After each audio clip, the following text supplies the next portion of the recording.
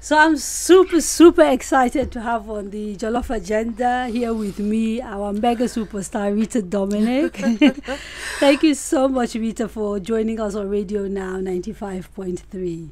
Thanks, thanks for having me. Okay, I mean, I must tell our listeners something. Um, she is even more stunning in person. okay. Um, the skin is flawless, and you know the smile, and I just I am a big fan. Oh, Um, I don't do um, groupie easily, but with you, actually, I'm a bit of a oh, groupie. thank So, you so yeah, much. Thank I'm, you. I'm a big fan. And obviously, sort of followed you all through your career.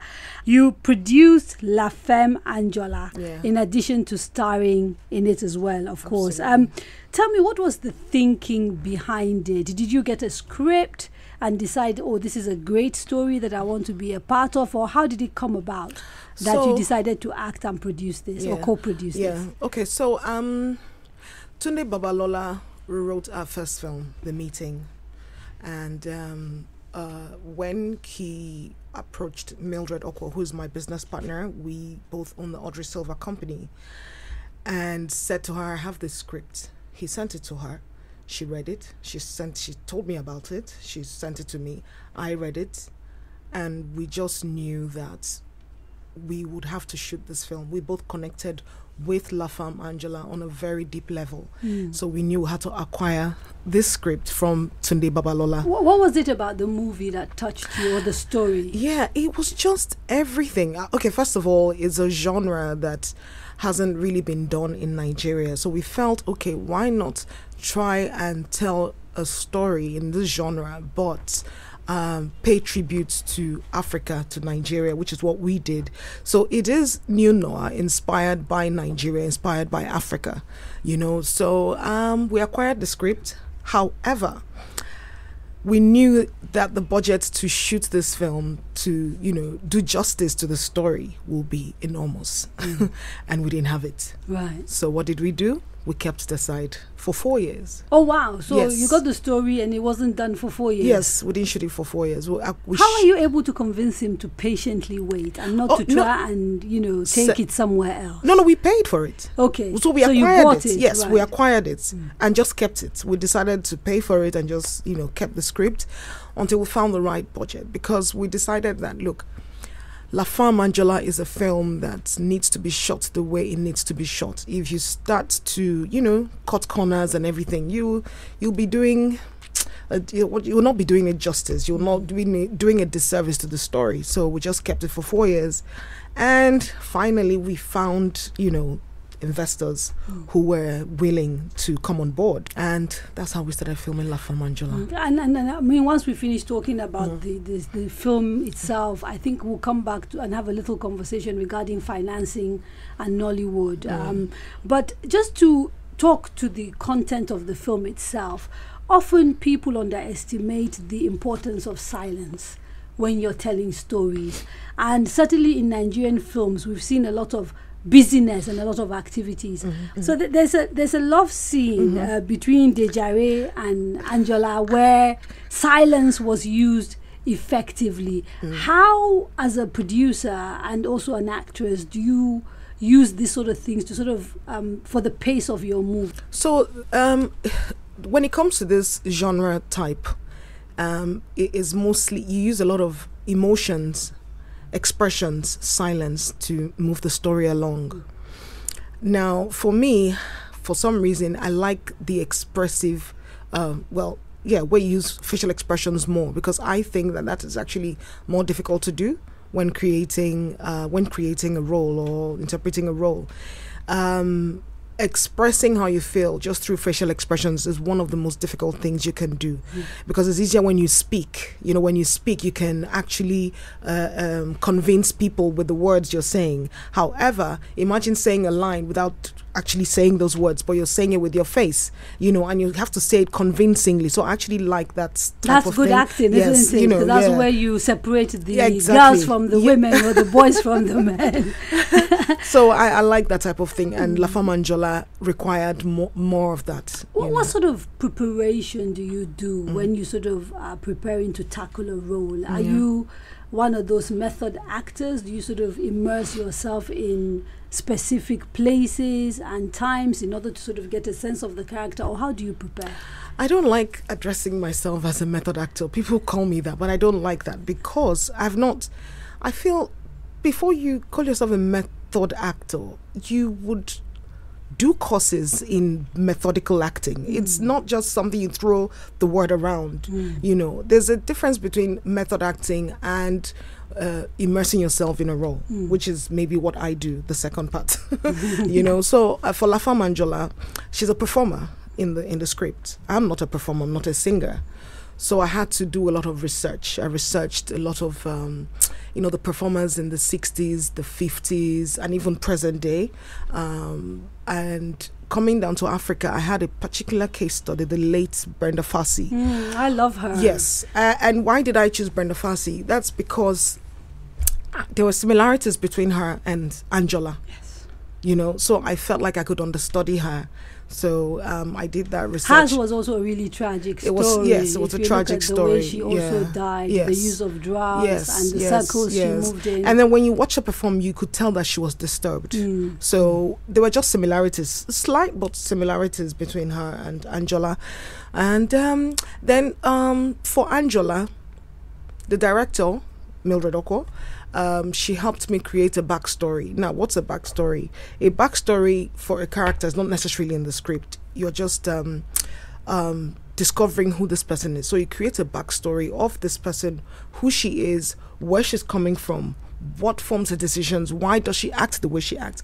That in total helps you. Um, it helps make it helps you make a good interpretation of your role. So let me understand yeah. it because in real life, mm-hmm. real people have context, have backgrounds. Uh, absolutely. So what you then try and do, that's a very clever way yes. of doing it actually. Yes. I haven't heard of this before. Are you Is serious? You, yeah, no, yeah. so you create a whole story that doesn't necessarily make it onto the script script or yes. to the screen yes. but which helps you when Understand. you're sort of acting mm-hmm. to sort of think okay this is where i'm coming from this is my absolutely background. absolutely Brilliant. yes so basically because what amazing. we're doing is you're you're giving life to that character Mm. you know and for you to really understand it you have to understand this person this whole being what why is she like this? Why does she raise her hand this way? Mm. Why does she tilt her head this way? You know, so you have to create like who is she, uh, background, where she was born, parents, sort of childhood she may have had, you know, things like that. So Mm. that's what um, we had to create. you, you talked about watching Brenda Fassie and sort Yes. of trying to immerse yourself in the world of music. And in that movie, um, we see you singing. Did you actually sing in real life, or was it all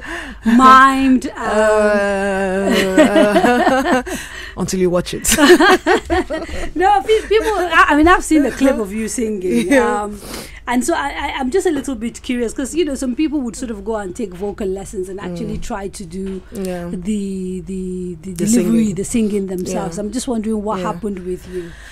Um, or you don't want to. I say? don't want to say it now because many people have still not seen the Seen film. Yeah. Okay, okay. Yeah. Uh, well, you looked fabulous. Another thing Thank that you. stood out was the costumes. You know, um, it looked like a lot of attention Mm-hmm. um, was paid to sort of detailing that period so that you could convey in the clothes Mhm. and in the settings. Mhm. Um, who did you work with for for your look? Okay. So um, Yolanda Okereke, Mhm. um, she's uh, the wa- she's a wardrobe head for La Femme Anjola. She's worked on other projects as well.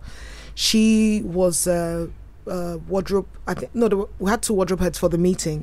So um, she was wardrobe head for La Femme Anjola.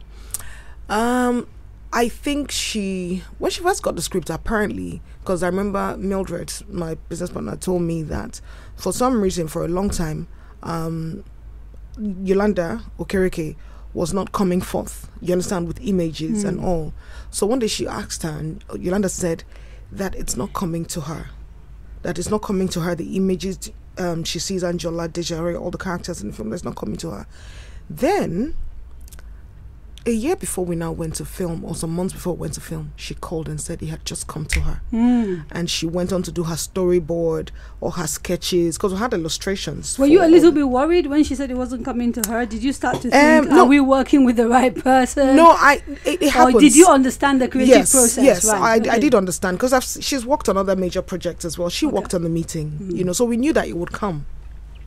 and the idea is to give them um, the license to create it. I mean, I, we're not going to tell her this is how we want this person to look. This is no, we want you to read it and tell us what you think, how you think this person should look in this particular scene, and all. And she did that, and then you know, and we felt okay, yeah, this actually works. You know, mm. that was it. In, in, many ways, it is a timely film because. Um, um, it does deal with some really disturbing subject matters around exploitation, uh, women being taken advantage of. Um, I, I, mean, how much of that was at the forefront of your mind when you were putting it together? And I particularly refer, there's a particular scene mm-hmm. which many think is a rape scene, but somehow has not been sort of presented that way. And I, am wondering whether the, that was quite deliberate because of the nature of um, what you were looking at, or whether this is an oversight what, what, what was going through your mind as co-producer and actor when that scene was unfolding? Um, well, it, it, it's it's just how the story was told, you know. Um, because I'm trying not to say much about the film because we'll yes, never. We it's just the way the story was told. told right. That needed to happen because of the scene that happened before that. Right. You know, and really, in a way, that is what happens in relationships. Mm. You know, some men take advantage of their wives, of their girlfriends, and they don't even think that it's rape, right, or something like that. Right. But it is what it is. So it is. You know? in presenting yeah. it and not making it an overtly. You mm. were speaking to what goes on in the everyday. Yes, is what you're saying. Yes, okay, yes, okay. yes. Basically, but at the same time, we didn't want to like focus on that because mm. that would be mm. taking this. It would be taking it would take taking the story away from you see what I mean. Yes. So the idea was not to focus on that particular scene for so long, mm. you know, but just show a bit of what happens in relationships sometimes that we just you know overlook, mm. you know, and just uh,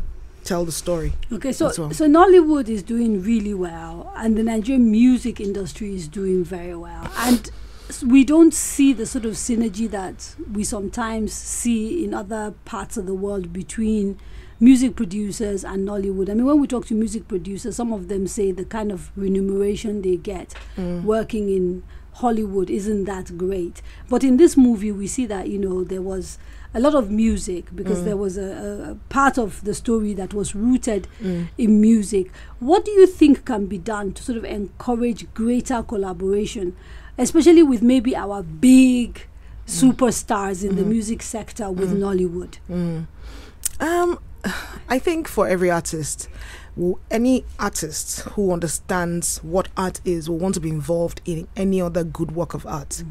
So for me, I feel like if you do um, a really good story, like for instance, if a musician were to say to me, "Oh Rita, I'd like to star or be in my music video," I want to know what the song is about.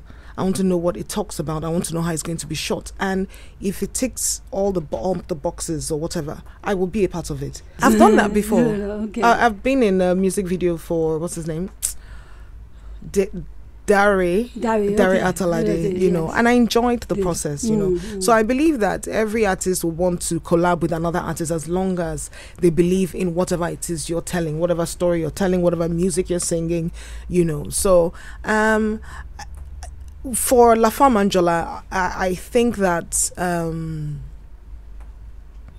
some of the songs that were used were necessary, and some of the singers that we worked with liked the idea of the story mm. and wanted to be part of it. And it wasn't, I mean, it wasn't free. we, we, we, paid yeah, them, you know. Money. Yeah. Which, which brings me back to the earlier conversation you touched upon the issue of funding mm-hmm. and investors. Um, um, in many ways, because of the big abuse we see of copyright mm-hmm. um, within the Nigerian um, movie space, yeah. but also, you know, the music industry, um, movie makers here don't necessarily make money the traditional way other people make.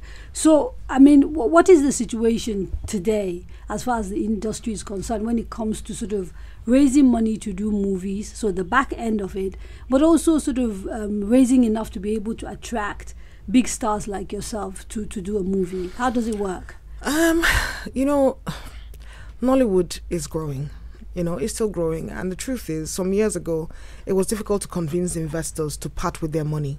And I can't blame them because you see, at the end of the day, as a business person, you want to be assured that you'll make your money back. Now, there was there's really no structure for that. However, things have changed with you know like platforms um, such as uh, cable platforms, uh, s- uh, streaming platforms, you know, cinemas, you know, that has changed, you know. So I and more and more investors are now being convinced, you know, to part with their money. They've seen some films go on to do um, great numbers in the cinemas, you know, and uh, I think that's convincing enough Hmm. um, to do that. Um, in terms of back end deals, I think a few actors or filmmakers are beginning to see the need to sign that in contract that I will get certain percentage of you know the gross earnings mm. and all. It's still it's still very young you know but I, I've seen because I, I think I've done that before in a film for a mm-hmm. film mm. you know. So it's uh, gradually And, and- gradually we'll be yeah. at par with the West and what was that the biggest challenge in putting together this movie, raising money, or were there other things? And what was the most fun thing about putting it together as well? Um, hmm. the greatest challenge was really finding the right budget. If you watch the film, you'll understand what I mean. That you needed to shoot it the way it needed to be shot. You know, so finding the budget. I mean, we kept it and waited for four years before we shot it. So in fact, it's taken us six years to shoot that film, to do pre-production, production proper, and then post-production, and then release it to the public. You know, and obviously, creating at the level we wanted to create it, you know, takes a lot of time and a lot of attention to detail, um, casting, um, acting, uh, production, uh, what you call it, designing, and all. Um, some of the some of the spaces that we used in the film were actually built. Mm, Yes. specifically for yes, the film. for the film, we built. This is really good to hear. Yeah, yeah. Nollywood is getting to Yes, we built. Yeah, okay, yeah, we okay. built some some uh, some of the location sets, that yourself, yes mm. w- they were built and um, now the fun thing for me it's not fun when you're doing it. It's fun when you now see it after it's been after it's been edited or when it starts being edited and you're watching like oh wow How much uh, uh, contribution do you make to the editing process, or does Mildred sort of kick you out of the editing room and so say, that's the "Get thing. out"? Yes, no, no, she. so I mean, I know the job of a director. The di- is the di- director is in charge when it comes to you know the creating everything. Obviously, she can um, seek advice and hear your ideas here and there, you know. But I totally know when to let her do her job and editing the production, creating. Uh, she even edited the story, so you'll see in the credits a story edited by Mildred Okwo, even though it was written by Tunde Babalola you know. So for editing i don't go into she edits you know she she edits it because okay we had an an on-set editor who did the first cut and then we went we did further editing in a studio in paris Hmm. you know so you see in the credits there are two editors and all the studio hands and everything you know Is, is that because you you couldn't trust the quality of editing here, or why did you have to go all the way to Paris? i wonder why we went all the way to Paris. Maybe you had a big budget Yeah, and that um, needed to be spent. uh, not not really because we still had to find more budget to even uh, finish off the film right. you know um I, I'm, I'm really, I'm asking really here a Mm. serious question about you know the sort of skill sets mm. that exist within um, Nollywood and whether Yeah. you feel we still have gaps that need to be filled. Um, I would say we need more work done in editing.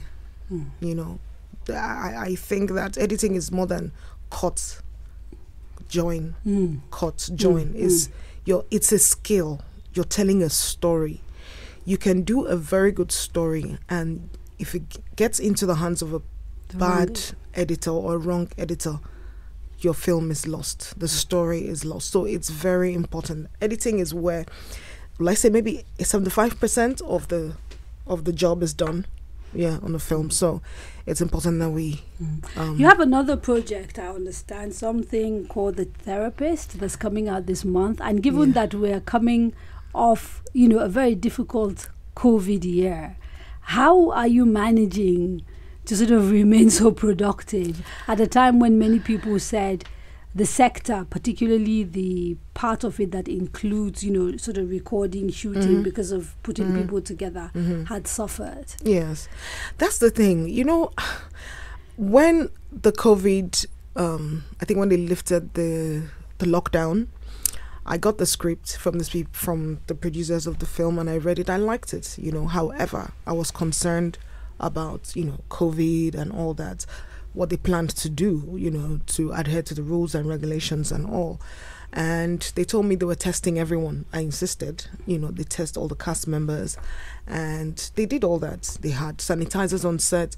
Now, when you're shooting, the actors. So what they test you, and then when you come to set, you can't go out again. Until yes, so they were camped. Yes, Oh, so we were camped. okay. Yeah. Yeah. especially the actors were camped. Okay. You know, now the crew members too were camped. However, when you're on set shooting, you know the actors can't wear masks, Mm. but we made sure all the crew members wore masks. And then when I finished shooting, I insisted on getting tested before going home Mm. because I have people at home and Yes. I don't want to risk put their lives at risk, you know. So yeah, we did that, and um, however, what surprised me is that the film is coming out the same time that La Femme Anjola is coming out, you know, and So there uh, was no conversation with you about the um, release of the film and the timing of it. Um, I think you know mostly to talk with my manager. Yes. You know, and I think it wasn't their fault. Actually, it wasn't their fault. I think sometimes to secure dates, there's always one thing or the other, so you have to wait. So it wasn't. Is that going to be a problem for you though? Promoting sort Both? of two movies around the same time, will you get exhausted? Uh, will you confuse your fans? Will you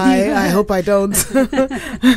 They're two very different characters, two different films. The stories are completely different. And in terms of being exhausted or whatever, I've been doing this for 23 years. So, um, How how have things changed oh, from when you started to Greatly, now? greatly. We didn't have cinemas for one. Secondly, we didn't have phones. you had to rely on taking transport to Surulere Mm. to check if you made it, um, if you passed an audition, you know. So I mean, we didn't have cable, we didn't have uh, cinema, which online platforms, mm, streaming mm, platforms. We didn't have all that, Mm. you know. So Nollywood has grown in leaps and bounds, But, and but yeah, beyond that, uh, the people you probably started out with that are not in the industry as we speak. So there's a degree of longevity that we've seen in your career. It's Mm. um, quite amazing, actually. Thank you know, you. Um, what do you think has been the reason for that ability to sort of be there at the beginning and still be here among, you know, the top superstars of Nollywood? um, grace, powers that be, and, And- just basically, I don't rest on my laurels. I don't say to myself, I know everything, so I'm going to stop working. I see the need to constantly learn, to constantly, you know, just do better, Mm. you know, acquire more skills. Like during the lockdown, I, I used the Helen Mirren acting masterclass as a refresher course.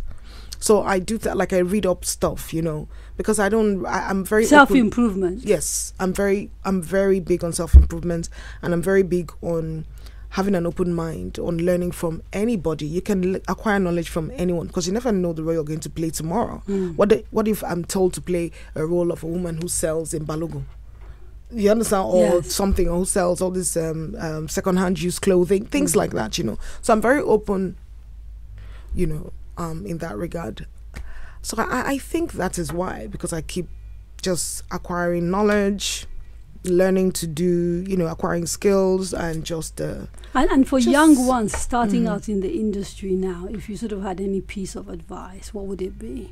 i'll say concentrate on on your art Mm. and um, I know you want to be a star, uh, especially the times we live in now. We have social media, you know, Mm. it's easy to get carried away with all those things, you know. However, I'll say concentrate on why you're doing what you're doing in the first place, you know.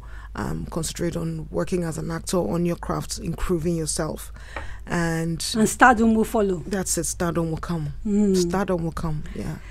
I'm about to get a bit personal as we wrap up this interview. Um, you're not someone whose sort of love life is normally out on display. In the 23 years we've been in Nollywood, we'd ha- we've had very little about your personal relationship. But then in the last few months, pictures have made their way um, to the public, you know, showing yourself with your new beau, Fidelis Anosike, publisher of Daily Times, my very good friend, by the way, and everything.